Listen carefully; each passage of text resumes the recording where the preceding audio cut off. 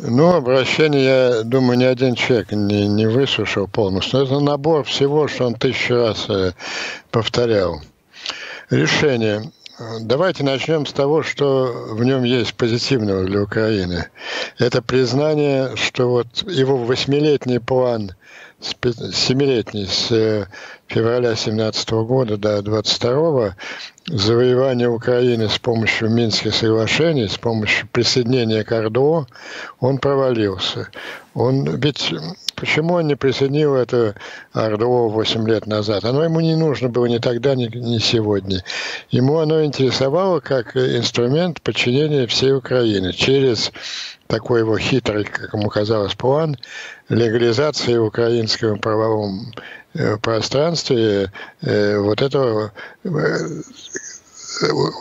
военно-террористического плацдарма России, чтобы это стало частью украинского политикума, эти два корпуса могли расхаживать по всей Украине и так далее. Ну вот, несмотря, ему удавалось многое там, ну, по что на него уже работали и Макрон, и, и Меркель Шольц. Временами удавалось выжить из Байдена такие фразы, как «Минские соглашения, нет альтернативы».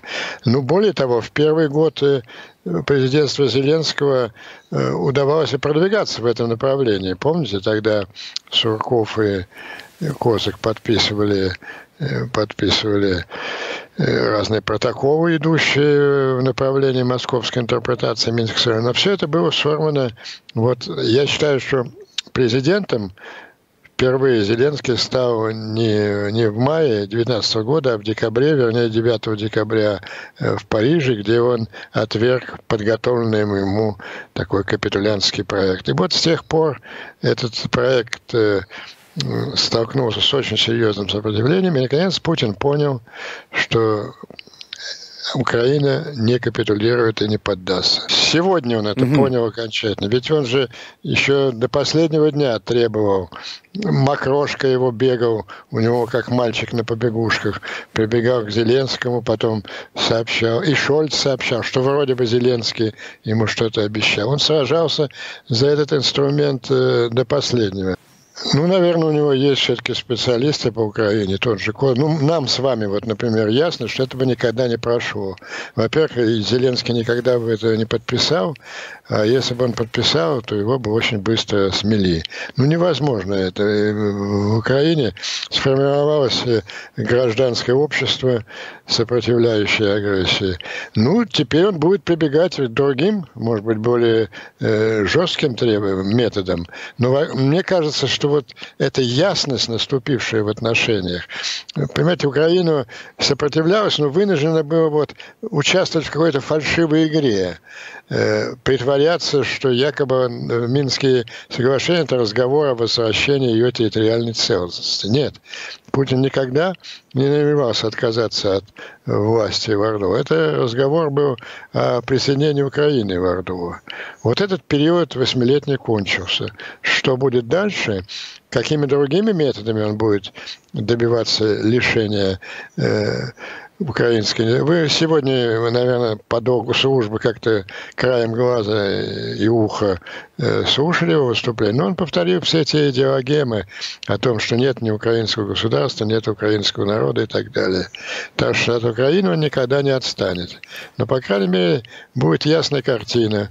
Москва оккупировала и Крым, и Донбасс. Вот враг оккупировал две наших территории пытается продвигаться дальше. Вот это ясная картина, а не вот эта фальшивая ситуация с Минскими соглашениями. Она, мне кажется, предпочтительнее для консолидации общества. Да, он, он же не просто э, человек, сидящий там на мешке с 240 миллиардов, он великий собиратель русских земель. Ну, понимаете, скорее всего, скорее всего, он не решится на полномасштабное вторжение, ну, даже в России выяснилось, что этому сопротивляется и большинство общества, и даже военные профессионалы. И вот у него нет сценария полномасштабной войны, покорения Украины, и выбили из, из рук вот этот сценарий присоединения к Орду. Но ему что-то нужно продемонстрировать своему окружению, пацанскому, самому себе, через пропаганду что-то внушить народу, какие-то великие достижения, повторить, вот, может быть, это ему не удастся, но он хочет повторить крымский синдром. И смотрите, как энергично он действует. И вчера за два дня две аннексии. Ну, вчера, согласитесь, что это была фактически аннексия Белоруссии. Было вдруг объявлено, что российские войска, пришедшие сюда для совместного учения, никогда оттуда не уйдут. Угу. Вот. Сегодня он аннексировал Орду. Вот как-то это единым пакетом э, будет представлено вот тут у него же такие магические цифры играют роль в его действиях.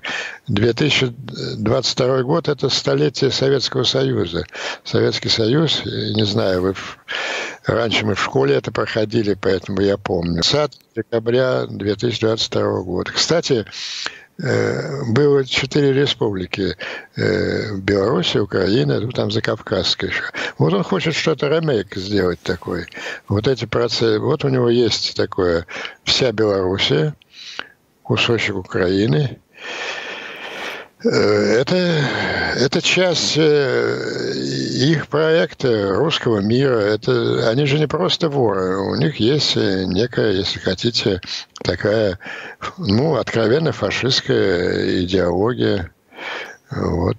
Он ей руководствуется в своих действиях. Сейчас важно, я думаю, вот сейчас важно, ближайшее я жду, вот здесь, какая будет реакция Запада. И Барель сказал, будет санкции, еще даже более важную вещь, что никакой встречи саммита трех Макрон, э, Путин, но это только Барель. Mm-hmm. Да. А, а важно, что американцы скажут.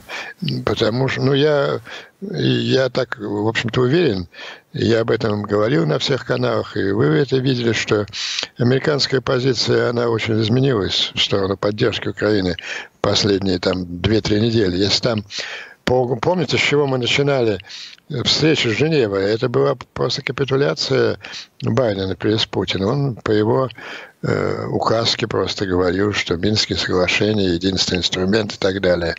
Вот сейчас совершенно другая позиция Америки. И я уверен, да, ну, ну я просто хочу это услышать, что А, никакой не будет встречи Путина Байдена, да я думаю, что и Блинкин не будет встречаться с Лавровым. Им же ясно сказал, что встреча будет, если не, не будет агрессии. Но это же откровеннейшая агрессия. До, вот, сегодня, до сегодняшнего дня Россия считала это теорией, э, территорией Украины, которую она как бы помогает э, воссоединить э, с основной частью украинского государства. Сегодня это всем ясно, что это оккупированная территория, как оккупированная Россией территория. Такой же статус, как и, и Крым у нее. Так что я надеюсь на санкции. Ну, может быть, не все так называемые адские, адские приберегут и для случая военной, очевидной экскавации, которые, опять же, повторю, не стоит исключать. Ведь э, параллельно с этими документами э, в, в Донбассе продолжается вот этот классический глевец. Нам все время подсовывают какие-то фейковые видео, э, фейковых пленных для того, чтобы оправдать э, отражение Москвой. Очень веерный сценарий. Ближайшие... Ну, что он... И, кстати, обратите внимание, как это спектакль был поставлен. Там каждый актер знал свою роль. И разные люди озвучили совершенно разные сценарии. Да, да говорил вот о том, что нужно признавать в границах э, э, э Донецкой и Луганской областей. Нарышкин как бы нечаянно проговорился, а на самом деле все это было продумано, что он выступает за включение ЛНР и ДНР в состав Российской Федерации. Ну и, наконец, последняя роль была такого сардафона-идиота, но он блестяще выполнил Золотов, который вдруг заорал, что России нет границ с Украиной, есть границы с Америкой, и это все Америка контролирует, поэтому на признание границы нельзя, надо идти дальше вперед. Вот весь веер возможностей Путин продемонстрировал. Теперь он будет наблюдать за американской реакцией. Вот все-таки мне как-то щемит, как бы очередную глупость. Америка... Уже даже встреча, встреча э, Блинкина с Лавровым будет глупостью в этой ситуации. Ну, подождем.